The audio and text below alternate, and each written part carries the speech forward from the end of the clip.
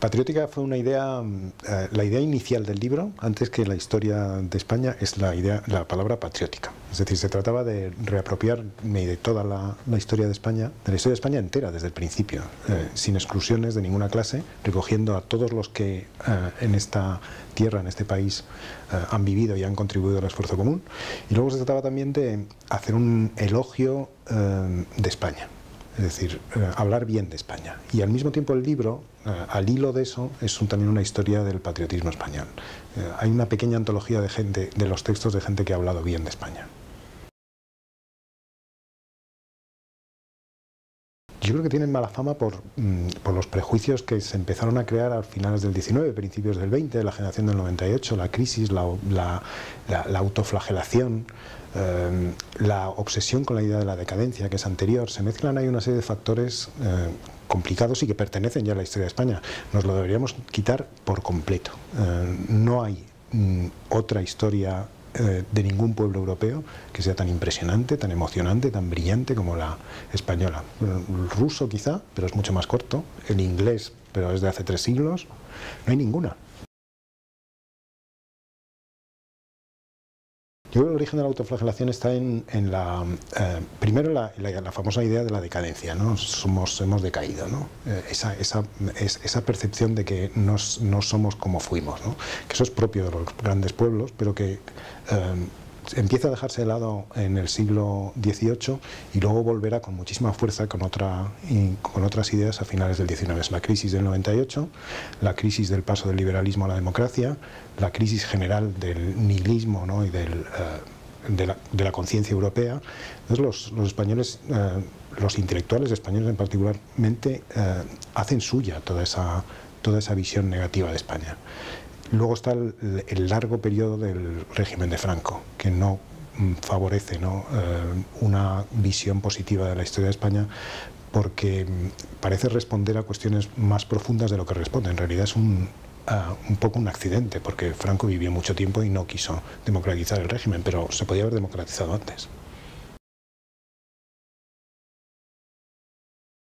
es un problema de las élites y yo creo que últimamente se está viendo muy bien. Em, em, ahora mismo, durante mucho tiempo, en los últimos 20 y 25 años, eh, los símbolos nacionales, las manifestaciones externas de adhesión a la idea de la nación han estado muy sofocadas. Desde hace 10 años eso ha empezado a cambiar, eh, y mucho. 10 años o incluso un poco más a lo mejor, pero ha cambiado y mucho. Eh, lo que sigue sin cambiar es una parte de las élites, en política, en los medios de comunicación y en la universidad.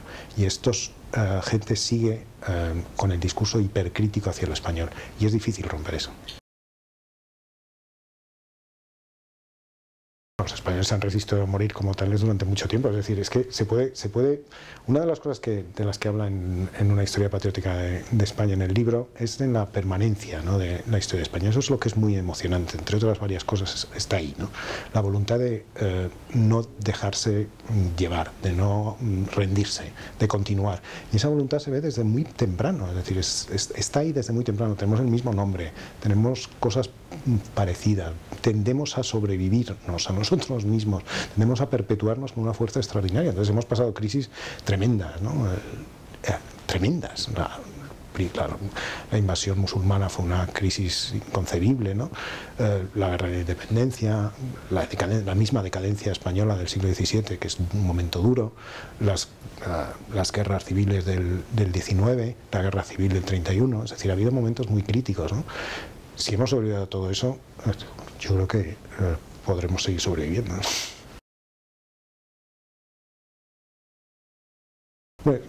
no sería imposible eh, si eh, de alguna manera no existen fuerzas políticas capaces de volver a plantear las cosas en su término justo. ¿no? O sea, no se trata de excluir a nadie. Yo creo que la reconciliación de España con su propia diversidad cultural, con su, diversidad, con su pluralismo, eh, ha sido un fenómeno muy positivo y muy importante.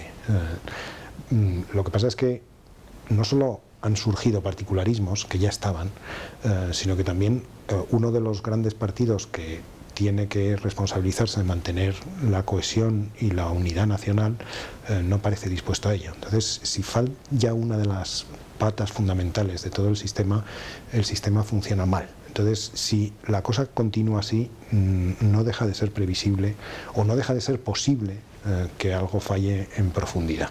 Espero que no. Quizá haya dos o tres no grandes. ¿no? El primero es la voluntad de ser occidental, que eso em, se puede valorar de muchas maneras, pero es una realidad muy sorprendente. Es decir, España es un país em, que siempre ha tenido una, a pesar de estar en el extremo occidental de Europa, siempre ha tenido una fuerte querencia por lo oriental, o lo oriental se ha, mm, planteado con fuerza ¿no? la, la integración del territorio español. Eh, y España siempre ha querido ser occidental. Se nota muchísimo en la Reconquista, se nota muchísimo antes eh, y sobre todo, claro, se nota en la, en la voluntad de volver a lo que entonces se llamaba la cristiandad, ¿no? que luego ya no tiene ese mismo nombre. Eso es un punto importante. Otro segundo punto es la dimensión global de la cultura europea, de la cultura española, perdón que es América y todo lo que viene detrás. Eso es único en la historia de, eh, de europea. Entonces, eso es, eso es otro de los puntos fundamentales de la historia de España. Y otro tercer punto menos, menos eh, considerado, porque muchas veces la historia de España ha sido muy criticada, es la aportación de los españoles al liberalismo. Liberalismo en sentido amplio, ¿no? respeto a los derechos humanos.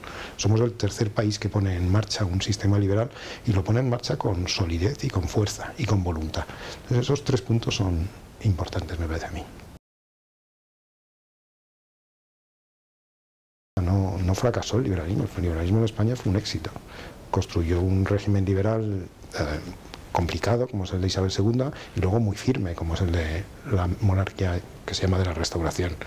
Eh, otra cosa es la democratización de ese régimen, pero eso es un problema diferente. El liberalismo español fue un liberalismo serio, importante y que construyó el Estado moderno español. El Estado que conocemos ahora en buena medida es el Estado liberal.